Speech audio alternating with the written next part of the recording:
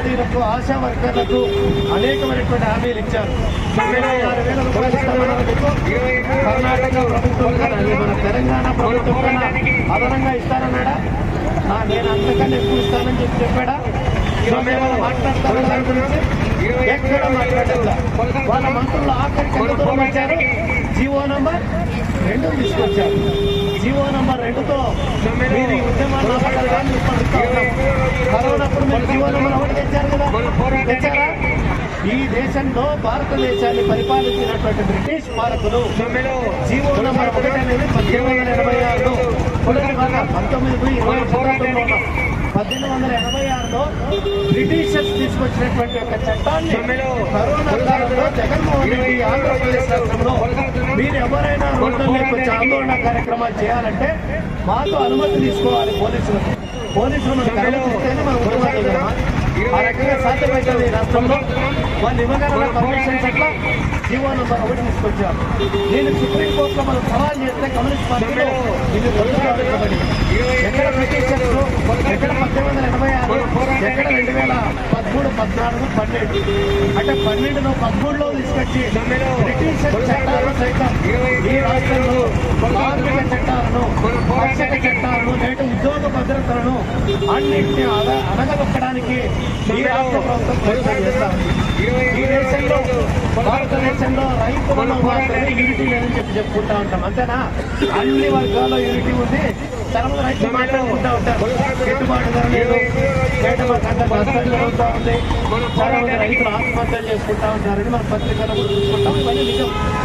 కానీ భారతదేశంలో స్వాతంత్రం తర్వాత అంటే స్వాతంత్ర పోరాటం తర్వాత నరేంద్ర మోడీ లాంటి వ్యక్తినే మరి నల్ల చట్టాలకు వ్యతిరేకంగా మూడు రకాల నల్ల చట్టాలకు వ్యతిరేకంగా భారతదేశంలో దాదాపు సంవత్సరం పాటు పోరాడి ఏడు వందల నుంచి ఎనిమిది వందల మంది చనిపోయినా సరే పట్టు విడని పోరాటం ద్వారా మూడు రకాల నల్ల చట్టాలను రద్దు చేసినటువంటి కనుక ఈ భారతదేశంలో రైతాంగానికి ఉందని చెప్పి అట్లాంటి స్ఫూర్తిని అంగన్వాడీ కార్యకర్తలు కొనసాగించాలని చెప్పి ఈ సమయంలో మనవి చేస్తా ఉన్నాం అదేవిధంగా నంబర్ ఒకటి ఎస్మా చట్టం అంతే.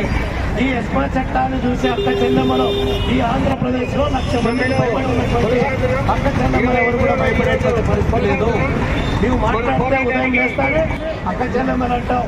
కానీ అక్క చెల్లెమ్మలను నువ్వు తిరిగి వారికి అన్యాయం చేస్తూ జీవోలను రెండు తీసుకొచ్చి ఈ రోజు వాళ్ళ ఉద్యమాలకు విఘాతం కల్పిస్తా వాళ్ళ న్యాయమైనటువంటి కోరికలను అడగకుండా అడగదొక్కడానికి గొంతు నొక్కడానికి ఈ రకమైనటువంటి ప్రయత్నం చేయడం అనేది సంఘటన అని చెప్పి ఈ సందర్భంగా గుర్తు చేస్తా ఉన్నాం అదేవిధంగా మనకు రావాల్సినటువంటి క్యాటగిరీ కానీ మిగిలినటువంటి అన్ని రకాల న్యాయమైనటువంటి కోరికల మీరు జరిపేటువంటి పోరాటంలో అన్ని రకాల అన్ని వర్గాలు అన్ని ప్రజా సంఘాలు మీకు ప్రజానికం కూడా మనం ఇస్తా ఉంది చాలా మంది మనం అనుకుంటా ఉంటాం మనం మాత్రమే కొడుతున్నాం ఇక్కడ ఇక్కడ మనకు సరైనటువంటి మద్దతు లేదేమనుకోద్దండి. ఇండైరెక్ట్లీ మనకు సపోర్ట్ దొరుకుతా ఉంది ప్రజలు చర్చించుకుంటా ఉన్నారు మున్సిపాలిటీ వాళ్ళ చట్ట పోయినారంటే వాళ్ళ గురించి కదిరి మున్సిపాలిటీ అంతా చర్చిస్తా ఉన్నారు.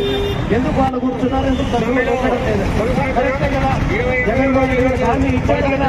వాళ్ళకి నెరవేర్చాలి కదా నెరవేర్చడానికి వాళ్ళు కూర్చున్నారని చెప్పి ఇండైరెక్ట్లీ సపోర్ట్ అనేది మనకు. ఇక్కడ కూర్చున్నటువంటి అందరికీ కానీ మున్సిపల్ వర్కర్స్ కానీ అంగన్వాడీలకు కానీ లేదంటే సర్వశిక్ష అభియాన్ మరి అవుట్ సోర్సింగ్ ఎంప్లాయీస్ కానీ అన్ని రకాల మద్దతు ఉంది ఈ రాష్ట్రంలో ఇప్పటికే అన్ని వర్గాలు కూడా రోడ్డు